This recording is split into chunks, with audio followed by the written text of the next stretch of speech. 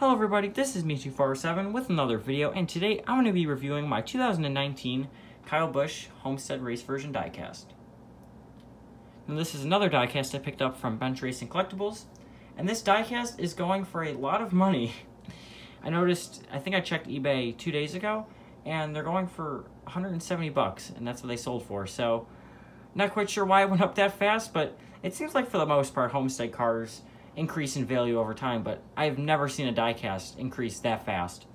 I know Tyler Reddick's Homestead car is also going for a lot of money, so if you can find those two at a decent price, I'd pick them up.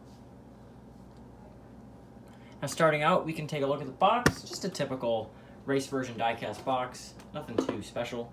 Of course, we got the render of the car, and we have the production number, and then the schedule on the back. It's going to be funny seeing the 2020 cars, and I wonder if Lionel's going to update it for the more recent race versions to the updated schedule. I guess only time will tell. But inside the box, of course, we get our little winner sticker, which you guys have seen a million times, and it seems to be stuck to my box. I'll try and get it out.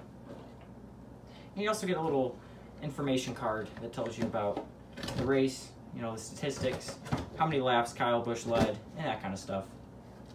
So here is the little card.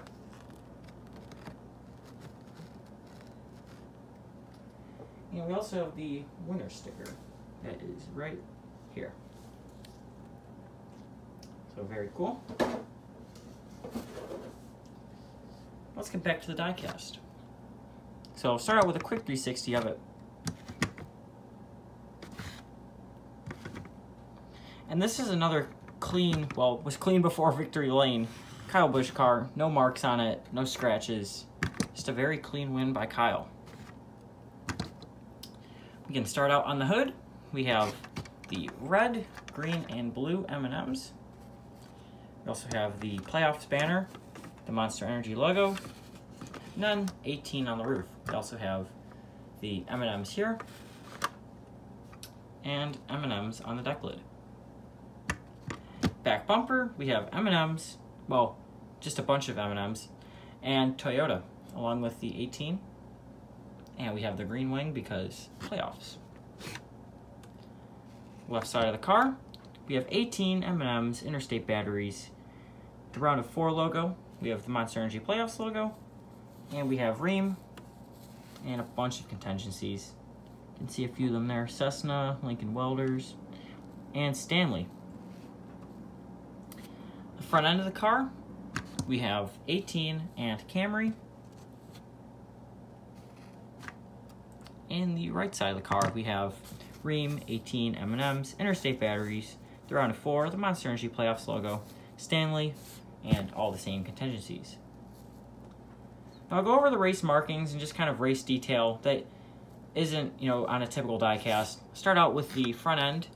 As you guys can see, we have some tape on the nose, also have a whole bunch of confetti and the green line above the splitter, which I always thought was these that was on the splitter, but I never really noticed that until getting a race version diecast set. That's actually a line above the splitter. So a little interesting thing there.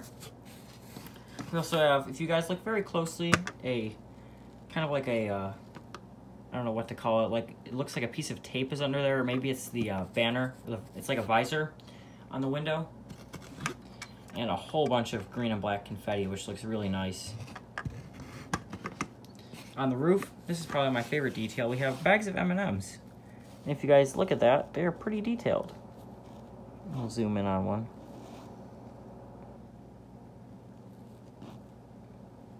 And that's just a really cool touch by Lionel. I like when they do that kind of stuff. So definitely a really nice touch. We also have all of our winter stickers right there. And on the deck lid, we also have a couple of bags of M&Ms. Rear bumper, no real race markings, just a little bit of rubber and dirt. And then the left side of the car, nothing really major, just a little bit of rubber around the rear fender. And my favorite thing about Race Version diecast is how the tires are detailed. I absolutely love how you've got the um, numbers of all the drivers on the team with the rims. And you can see the barcode there and all the writing like L18. I just love that kind of stuff. And I wish Lionel would put that on their standard cars. Even if it's not 100% accurate, just something that looks like that would look amazing. And then the rear end of the car, same there. Go over to the right side.